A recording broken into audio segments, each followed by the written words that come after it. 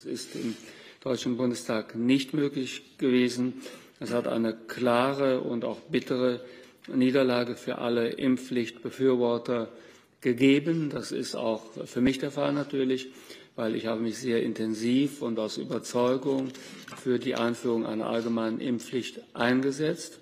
Und das habe ich als Abgeordneter getan, nicht in der Funktion des Bundesgesundheitsministers, weil wir ja hier eine ethische Frage besprochen haben, die aus der Mitte des Parlaments dann zu entscheiden war. Aber als Abgeordneter äh, habe ich mich da eingesetzt. Auf der anderen Seite ist es auch so, dass aus der Perspektive des Gesundheitsministers eine solche allgemeine Impfpflicht dringend notwendig gewesen wäre. Somit ist eine klare, herbe Niederlage, die in dieser Größenordnung auch also es sehr unwahrscheinlich macht, dass sich hier noch viel im Deutschen Bundestag bewegen wird. 90 Prozent des medizinischen Nutzens, den man mit einer Impfpflicht ab 18 erreicht hätte, hätte man auch mit einer Impfpflicht ab 60 erreicht. Von daher äh, war ich davon ausgegangen, dass dieser moderate Kompromiss auch die Unterstützung vieler Abgeordneten findet, die sich mit einer Impfpflicht ab 18 nicht einverstanden erklärt hätten.